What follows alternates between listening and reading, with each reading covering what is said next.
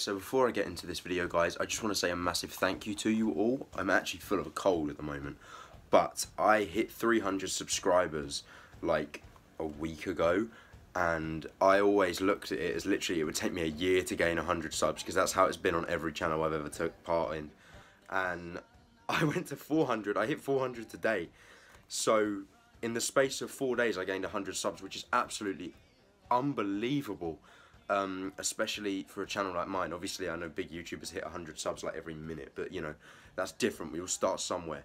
But because of that, um, I had to think straight away, what can I do for a 400 sub special? So, on my birthday, which those of you know is the 23rd of April, um, I have actually, I'm going to be getting some cool wrestling stuff, um, and I'm going to be showing you that that stuff. Um, I'm going to, for a little hint, I'm getting a new belt. Um, I'm not telling you which belt, but I'll tell you for a fact you can't buy it on WWE Shop anymore. It's old. Um, and then some other stuff I'll be buy I'll should hopefully be getting as well. So, without further ado, let's get into my Superstar Shake-Up predictions. What is up guys, it is Joe here from Joe Talks Wrestling and today I am bringing you my WWE Superstar Shake-Up predictions video. So, ladies and gents, as we know, the week after WrestleMania every year for the last few years has had a superstar shake-up. It's basically the WWE draft, just a bit condensed. So obviously SmackDown and Raw have their own two rosters, and the product gets a little stale. We all know that. We go for a year with certain people on the roster, the product gets the stale, we get the same matches over and over again, um, and we just get tired of it. And WWE obviously knows that. So what they do is they give us the Superstar Shake-Up so that we can shake things up. So that superstars from SmackDown can then come onto Raw and they trade.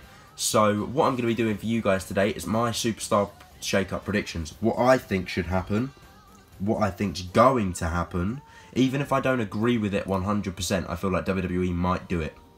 So, without further ado, let's get into my first shake-up. My first Superstar Shake-Up prediction is the Usos. The Usos have beaten every SmackDown team there possibly is on SmackDown Live. The Bar, um, Shane McMahon and The Miz, The New Day, you name it, they've beaten the Bludgeon Brothers even. And it's getting stale, if I'm honest with you. The Usos need to shake things up a little. Their character isn't getting stale. Their matches aren't getting stale, it's just their stories that are. So they can't keep going up against the same people doing the same stories and expecting us to stay invested. It's not going to work. They have just literally last week dropped the SmackDown Tag Team Championships to the Hardy Boys, Jeff and Matt which makes me think that they are heading over to Monday Night Raw. It makes me hope that they're heading over to Monday Night Raw because that division is shitty at the moment. There is literally nothing going on in the Raw Tag Team division other than the main like rivalry, which is Curt Hawkins and Zack Ryder, the Major Brothers, versus the Revival, and I can't see that going on for too long. Um, and the reign of Zack Ryder and Curt Hawkins has to end soon, I'm pretty sure, and I believe the Usos can go over and do that straight away. So Jimmy and Jey Uso, you're heading to Raw. On to my next. So my next prediction for the Superstar Shake-Up is Bobby Roode. We saw a bit of an inkling of a heel turn on Raw. Um, Gable wasn't very into that. Roode sort of was like, you know, very turning heelish, but Ga Chad Gable was like, I'm not a fan of this. Like his face didn't say that he was he wanted to be part of that. And Bobby Roode, if you guys don't know, is an amazing heel. Look at his work in TNA from in like 2011 when he had long hair. Um, look at his work in NXT for Christ's sake, just a few short years ago. And oh my God, can Roode get people to hate him? And it's amazing. But ever since he's been on the main roster, he's been babyface the whole time. He's won the United States Championship. He's won the Raw Tag Team Championships, but that's about it. He's like not even in the mid card anymore.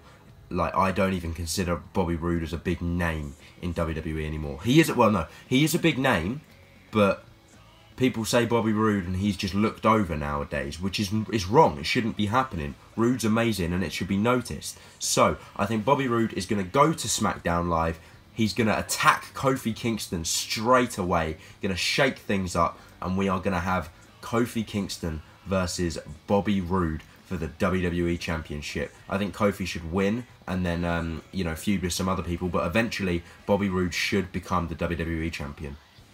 My next prediction to go from SmackDown Live to Monday Night Raw is The Miz. The Miz had a feud with Shane McMahon, obviously had the Falls Count Anywhere match at WrestleMania, and honestly, um, The Miz is sort of a bit. Now this feud with Shane's done, it's sort of a bit like, well, what now? So I think send him to Raw, see what happens on Raw. The Miz is an A-lister. He's a great performer wherever he goes. He's been babyface now. Maybe see him go back to being a heel. Um, that's where he works best, even though he works great at both. But this babyface run, compared to his run in 2014, has been really good. He's been a really good babyface, so he's proved that he can do whatever he's given. And yeah, give The Miz something to do, send him to Monday Night Raw, and let him compete on Raw. But yeah, that's basically all I've got to say about The Miz. Just send him to Raw. On to the next one. The next superstar on my list is Randy Orton, the Viper. Had a match against AJ Styles at WrestleMania, came up short. Um, and you know, Randy has been on SmackDown since the brand split.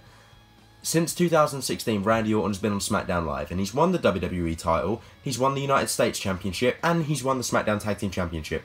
Since being on SmackDown Live, Randy has won every single championship up for grabs on the show for the men.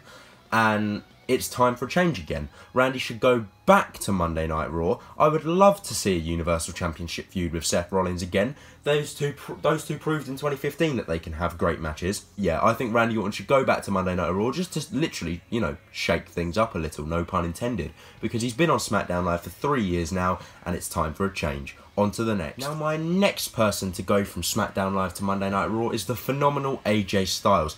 AJ Styles is the wrestler that screams SmackDown Live. If you look at AJ, you just see SmackDown. So, he's been WWE Champion for one of the longest reigns in recent memory.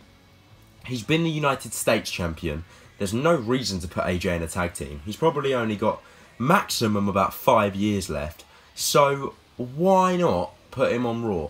And me saying maximum five years left, that's not because of he's losing, like, he, he's not performing as well as he used to. He's still putting on great matches, or, well, he's still proving that he can put on great matches. Whether he's being allowed to or not, I don't know about that. That's backstage politics. But AJ is still phenomenal, and him leaving would be 100% his choice.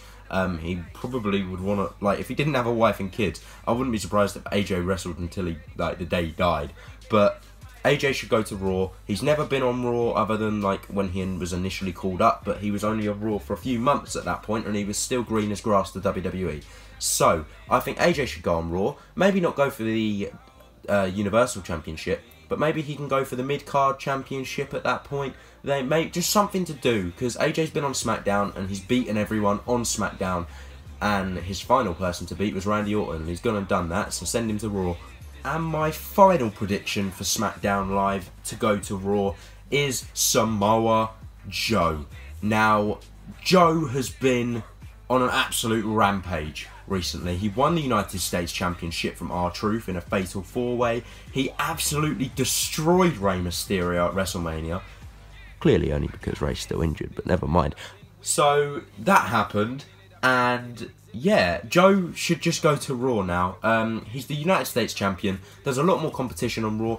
Everyone on SmackDown, the people they use, they either put in the United States Championship like title picture, like Andrade, Rey, R-Truth, or they put them in the main event. People like you know Daniel Bryan, AJ Styles, or if not, failing that, they either leave them in catering or throw them in a tag team, Shinsuke Nakamura. But it's sort of just one of them things where even though Raw doesn't use it, the WWE in general aren't great for using their talent. Um, they hire a load of talent and then they only use some of it. But I think to really shake things up a little, the United States Championship hasn't seen Monday Night Raw since 2016. Um, we thought it was going to be put back on Raw last year when Jinder went to Raw, but Jeff Hardy beat him and went to SmackDown the next night, but it wasn't. And I think now is the time for the United States Championship to be back on the red brand. Now, before we move on, ladies and gents, I just want to address the women. So, I don't have any women's figures, that's why they're not in this video, but that's not the main reason they're not in this video. The main reason is because I believe that WWE are unifying the women's divisions, uh, Raw and SmackDown, and it's just going to be the women's division, not a specific one. The champions and the both, all the women are going to show up on both Raw and SmackDown, so that's why they're not in that. Right, let's get out that out of the way, and let's move on to my Raw predictions. Now, my first pick to go from Raw to SmackDown, quite frankly, I don't want this to happen. I'm one of the few that doesn't actually want this to happen. But we saw a sneak peek of it last week on SmackDown when he joined the bar. It's the, the literally the faction man himself, Drew McIntyre. He's been in so many factions, and for Christ's sake, in trios, like literally 3MB, the Dogs of War, Baron Corbin and Bobby Lashley, now Sheamus and Cesaro. For Christ's sake, this man is a singles star. Let him be that. Um, but Drew, I feel like he's going to go to SmackDown. Um, as much as I think he should be a dominant force on Raw, and Drew should. I really wanted to see, if I'm honest with you. Um, I'm 100% happy that Seth is the Universal Champ, but I, I, maybe at the Royal Rumble, I wish I would have seen Drew McIntyre versus Brock Lesnar. That would have been awesome. But hey ho, you can't always get what you want. Drew McIntyre is my first prediction. My next prediction to go from Raw to SmackDown is the monster among men, Braun Strowman. Now, Braun has literally battered everyone there is on Raw. Why doesn't he just go to SmackDown and absolutely destroy everyone there as well? I mean, he can be booked as a, legitimate monster on SmackDown.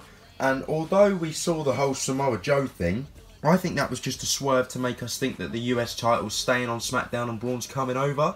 When, as a matter of fact, I believe that it's either going to be one or the other, not both. It's either going to be Braun goes to SmackDown and Samoa Joe, or Samoa Joe goes to Raw. That's literally it. Um, I don't think we're going to get to see the Braun Joe matchup just yet. But anyway, Braun Strowman, Monster Among Men, joining Drew McIntyre. This is another one that I'm a bit iffy on. I've always seen Braun as a Raw guy, but at the same time, you think about it, he has he's literally beaten everyone up, and he didn't win the Uni Universal Championship from Brock Lesnar. He got absolutely destroyed. So what is there left to do? Why not go to SmackDown and fuck shit up over there? Next up on my list to go from Raw to SmackDown. Now this guy, I know he's on a break. Dolph Ziggler, ladies and gents. He's on vacation. Uh, he's taking a break from WWE, a little hiatus, I believe he called it. Um, but Ziggler hasn't had a good run these last few years. Obviously, he was Raw Tag Team Champion with uh, Drew McIntyre. And obviously, as you see here, this is the Dogs of War trio. Um, and that didn't go so well. But then he had a bit of a face turn, which was more of a tweener run, where he got his ass whooped by Drew McIntyre. Then he came out in the Royal Rumble, um, and after that he took his holiday. And I believe that it's time for if for Dolph Ziggler to come back to SmackDown Live as a babyface. Um, I don't believe that he's going to go for the WWE Championship. I don't believe he's going to go for a championship at all at the moment. The thing is, I want this to work out where Ziggler eventually either wins the main title or doesn't win any championships at all. He's been an Intercontinental Champion multiple times. I don't want to see Dolph with a mid-card or a Tag Team Championship. It's either the big one or none. I'd rather see him not even be the guy to put people over. Just one of the guys that's considered a, like a good mid-card wrestler that you can watch his match and think he'll win. But at the same time, I don't know what role you would consider him to play. He's going to be putting on great matches, but not always putting guys over. But anyway, I think that Ziggler is going to SmackDown, if he's even shows up at all. We don't know yet. My next pick to go from Raw to SmackDown is the obviously the Intercontinental Championship, Finn Balor. Now, if the United States title is going to Raw, the IC title obviously has to go to SmackDown. We haven't seen it there since 2016. Um, obviously, The Miz and Dolph Ziggler were the main two that held the white strap while it was on the blue brand. Um, and it would be quite a nice little change to see the Intercontinental title back on SmackDown. People like Andrade can hold it. Um, you know, Andrade maybe. People like, you know, just there's just mid-carder people on SmackDown Live that deserve the Workhorse Championship. Maybe even Rey Mysterio, if we're talking about, you know, just stuff like that people that deserve a championship. But at the moment, I'm happy with it on Finn. I don't want to see him lose it until at least after SummerSlam. So, that leaves us down to our final, final Superstar Shake-Up prediction. Now, ladies and gentlemen, as you all know, SmackDown is going on Fox later this year. and Fox want it to be less sports entertainment, more sports, more serious, which is what us WWE fans have been craving for nearly a yeah over a decade. So that time has come, and they Fox have asked for two people specifically: Ronda Rousey and this guy. The final person I believe is going to show up on SmackDown Live. We thought he was done with WWE, maybe not. The Beast incarnate, Brock Lesnar. How is Finn still standing? I believe that the Beast, Brock Lesnar, there, there you go, is going to be on SmackDown Live. Maybe he's even going to feud with Kofi to keep that underdog Kofi Kingston storyline going. That would be quite interesting, only if Kofi came out on top. But it all depends. Brock's obviously not going anywhere anytime soon. He's either going to not show up on TV at all.